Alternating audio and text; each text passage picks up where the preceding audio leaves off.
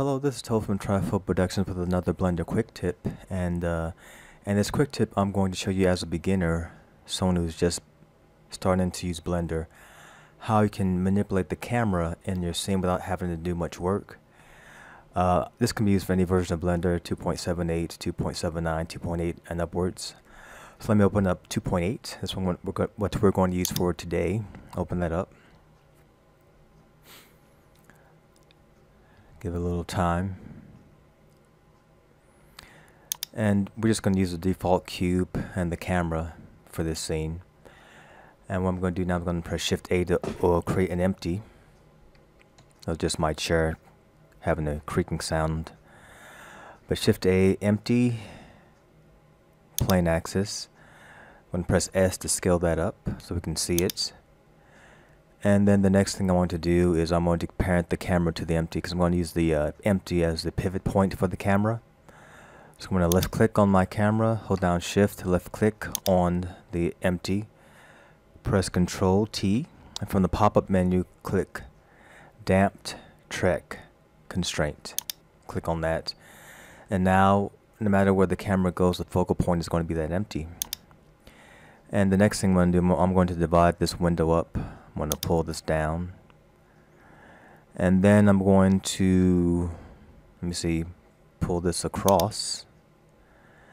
And then here I'm going to press uh, 0 so you can see the cube through the uh, through the camera. And then I'm going to pull this up so we can see our uh, timeline here. I'm going to hold down my middle mouse button to drag this timeline back and forth so I can get more of the front view. And in this window, I'm going to press 7 to see it from the top. Scroll down on my mouse wheel to zoom out. Hold down shift and my middle mouse button and drag up. And then I'm going to press this the uh, move gizmo, get my directional arrows here. I'm going to activate the automatic recording on uh, the timeline by pressing this button here. And then I'm going to hold down my left mouse button, click and drag on the x-axis. Actually, just click it once just to activate the uh, activate the uh, recording aspect of the camera. I know we can't see it, but in order to see the uh, keyframe here, hold down your middle mouse button and drag down, and you'll see it there. We're just going to go to 100. So I'm going to type in 100 to end the the uh, motion 100 in the keyframe there. And here, in this little slot, I'm going to click in there, left click, and type in 100, enter. And here I'm going to hold down my left mouse button on the x-axis and then drag across. So we can just get something to work with. You can see that we have a keyframe at 1 and a keyframe at 100. I'm going to click this little button to make it jump back to the first keyframe and then press play so we can see and look in this uh, viewport here so you can see what the uh, camera is picking up. So click play. And there's, there's movement in our camera. We're going to stop that. If you notice let me play it back in. If you notice with the camera it starts slowly in movement then speeds up. As it gets to the middle then slows down again. And for some scenes you might want that. But let's say you just want to go from one scene to the next with just consistent quick movement. In order to do that, we're going to go to our section, this section of our user interface, click on this uh, tab here, and from the drop or the pop-up menu, we're going to click on the graph editor. And the reason why we have that quick and slow movement is because of the interpolation of the, the uh, movement of the camera and our, from the graph representation. Here it starts off slow and it picks up in the middle and then ends off slow. For it to be just a consistent movement from beginning to end, we have to change the the uh, appearance of our graph. And in order to do this, make sure that everything in this window is selected. All these points need to be orange. If it's not, as you can see, it's not, press A and it selects everything. In order to make this a consistent, even movement with our camera, we go up here to key, and from our pop-up menu click interpolation mode. And we're going to click linear linear. And as you can see from my graph it's just a straight line now. So if we press play it's just straight movement. I know it doesn't look all that different when you look at it through the camera view but when you have a scene with where you're trying to put two um, scenes back to back together and you want consistent movement you, you'll see the difference there. So this makes the movement of your camera consistent. Now let's stop that. Let's press Control Z.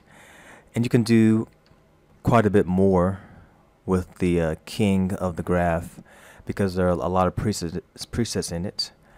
If we go to key again, go to add F curve modifier and here you'll see a lot of different presets that you can choose that will help you help your workflow a lot more efficiently and make you oh just knocked over my sharpener but it will help you create camera movement a lot faster as opposed to you doing it yourself. Now if we click on built-in function, you'll see it adds some bounce to our camera movement. So let's play that.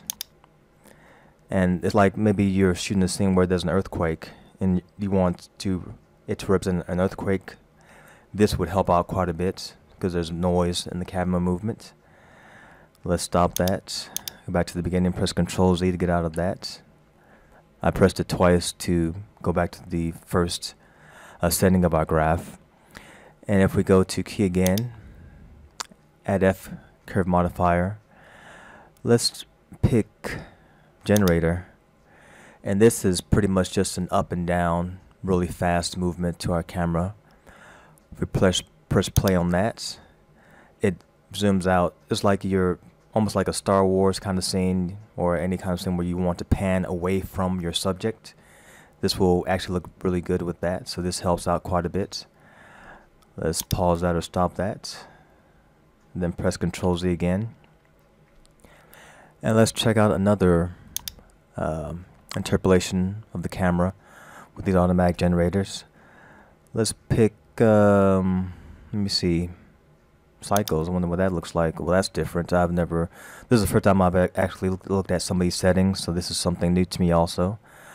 Let's press play on that.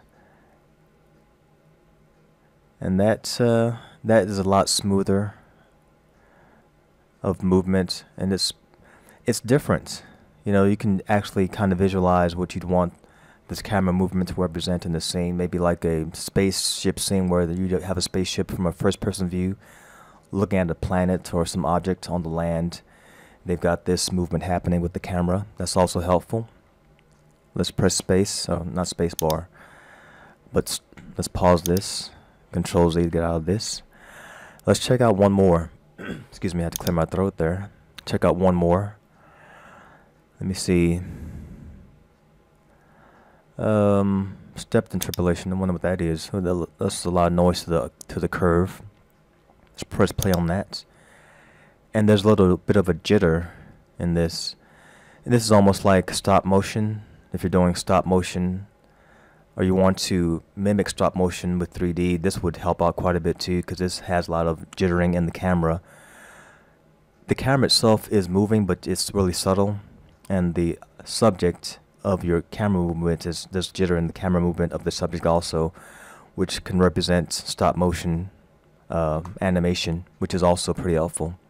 So yeah, that's uh, Blender's quick tip for today. That's our quick tip for today. It's just using the uh, presets in your key for your camera, the interpolation modes and all these different settings and the F-curve modifier to help you achieve or get quick results in terms of camera movements in Blender.